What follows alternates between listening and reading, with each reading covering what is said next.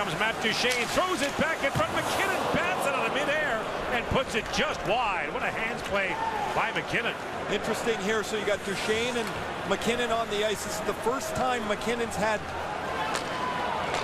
speed on the ice with him here tonight. Here comes speed the other way for Toronto. Kessel post back up in the corner, walks back in front, shoots,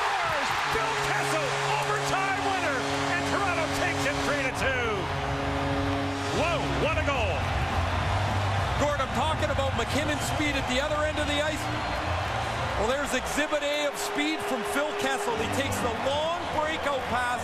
He doesn't field it cleanly, but he keeps his feet moving all the way to the puck across the ice, off his stick, and then he's the first man to the puck. He stops up, Barrie, goes around the cycle. Nick Holden can't vacate the front of the net. He's got to defend that area first, but Kessel gets to it, makes a tight turnaround. Barrie Holden leaves, and Phil Kessel with the overtime game winner, and the Leafs back-to-back -back wins, a well-deserved win here tonight.